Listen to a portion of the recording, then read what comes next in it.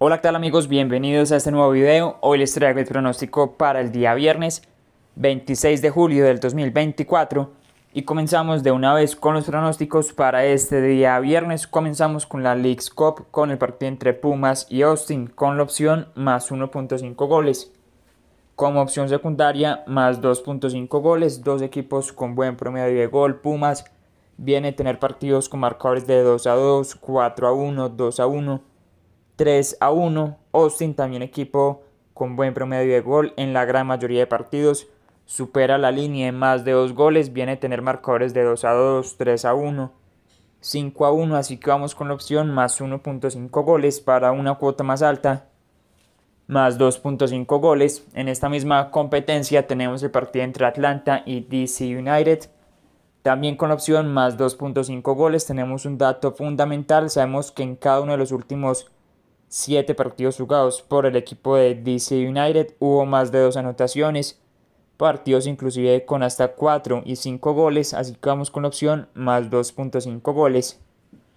En Brasil, en la Serie B, tenemos el partido entre Ituano y Villanova con la opción más de 8.5 tiros de esquina, dos equipos con un muy buen promedio de corners.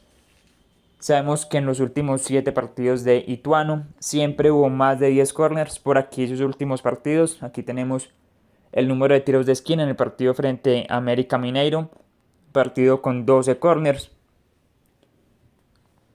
Tenemos su partido anterior frente a CRB, partido con 20 tiros de esquina y así sucesivamente si seguimos viendo sus últimos encuentros, así que vamos con la opción más de 8.5 tiros de esquina. Y ahora vamos con el resumen del pronóstico que se dio para este día jueves. Teníamos cuatro pronósticos, tuvimos dos aciertos y dos fallos. En la Europa League teníamos el partido entre Ajax y Bodina con opción más 2.5 goles. Se espera un partido con muchas más anotaciones, Ajax con muchas opciones claras de gol, pero finalmente solo logra anotar un gol. Por otro lado, en la conference acertamos en opción más 2.5 goles en el partido entre Bromby y Yapi, partido con 6 anotaciones. En esta misma liga acertamos en la opción Copenhague gana al primer tiempo, ya que ganó 1-0 la primera mitad, anotando gol al minuto 30.